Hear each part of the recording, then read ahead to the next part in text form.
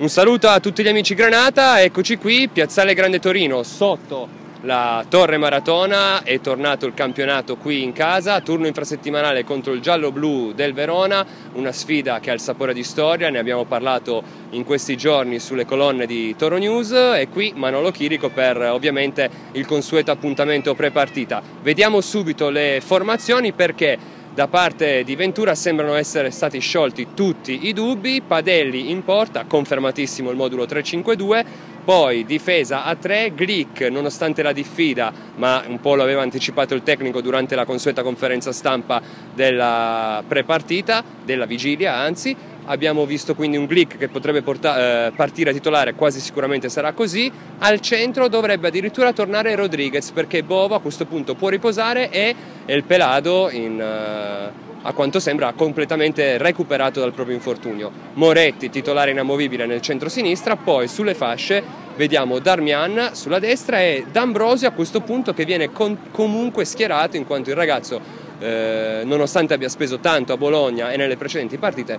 sembra aver recuperato ed essere in piena forma. In questo momento c'è ancora in realtà un piccolo ballottaggio con Pasquale, non è da escludere che alla fine l'ex udinese arrivato in prestito durante le ultime battute del mercato estivo possa partire titolare al posto del Danilo nazionale, ormai lo vogliamo chiamare così perché D'Ambrosio merita la maglia azzurra e questa sera, ma soprattutto nel derby, avrà l'occasione per dare un segnale al CT Prandelli. A centrocampo eh, ovviamente un po' di turnover, c'è Bascia, riposa Brighi, Vives titolare in cabina di regia, il ballottaggio del Caduri Farnerud sembra in quest'ultimo momento vinto proprio dallo svedese, l'abbiamo soprannominato principe di Svezia per i suoi lineamenti teutonici e insomma vedremo quindi se sarà quindi confermata questa mediana a 3 fatta appunto da Bascia, Vives e Farnerud. Davanti, Cerci, eh, ovviamente non si può pensare in questo momento a un toro senza l'esterno numero 11 la Stella Granata e davanti Meggiorini poiché Immobile